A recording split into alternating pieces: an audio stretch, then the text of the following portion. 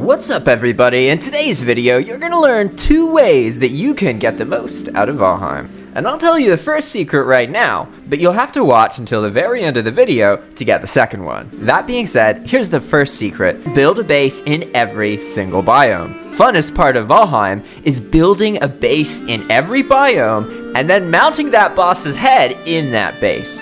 If you just rush out and kill the bosses, then you won't really experience the magic that Valheim has to offer. But surely it can't be that simple, can it? All you need to do is just build a base in every biome, that's it, and you'll have a lot of fun? Trust me, it really is that simple.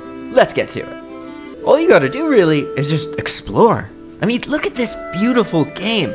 Valheim is one of those games that's really rewarding to explore.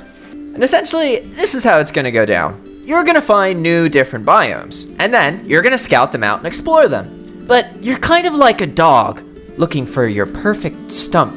Except instead of peeing on a stump, what you're looking for is your magical base spot. The perfect spot that just makes you feel like building. So now I'll switch to some awesome aerial footage of the different biomes, and we're gonna cover some cool spots that you might build most players will be drawn to the meadows, and really you want something near the ocean that's flat. Maybe even with some buildings already spawned there. There's all sorts of great views you can find in the meadows. You might build a base near a ravine or up on top of a hill, or maybe you'll find a quaint little village and build it up.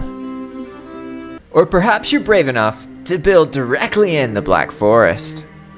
You might consider a spot with a Grey Dwarf spawner nearby. Maybe a trail to all the thistle spawns that you've already found. Or maybe there's a ruin somewhere just waiting to fill you with inspiration. Or perhaps you prefer where it's murky and dark. Maybe you'll build a base high up in these trees where you're safe from the monsters that lurk below. Or maybe you seek thrills and danger.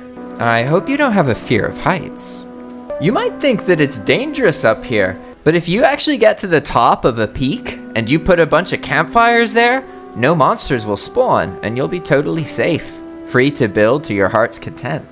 And that's why the true endgame of Valheim has nothing to do with bosses. It's all about building a base in every biome. And that means that every wild place you find is an opportunity to find a magical flat spot to put your base in. You may think it's dangerous, but it's only a matter of time. For once you can tame the biomes and build bases there, that's when you're a true Viking.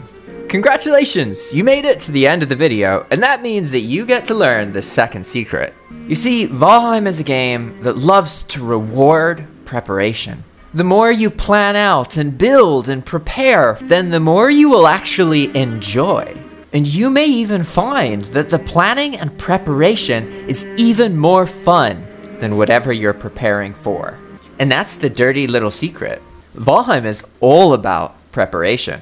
It's literally where all the fun really lies.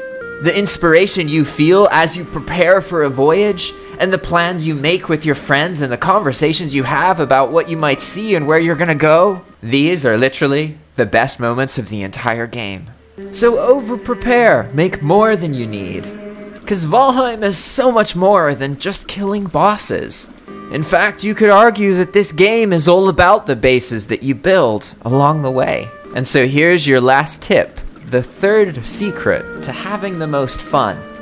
Never kill the last boss. No matter how tempting it may be, the moment you end the end of the game, everything will feel a little more shallow Thanks for watching, everybody. If you want to support my work, then consider renting your own dedicated Valheim server.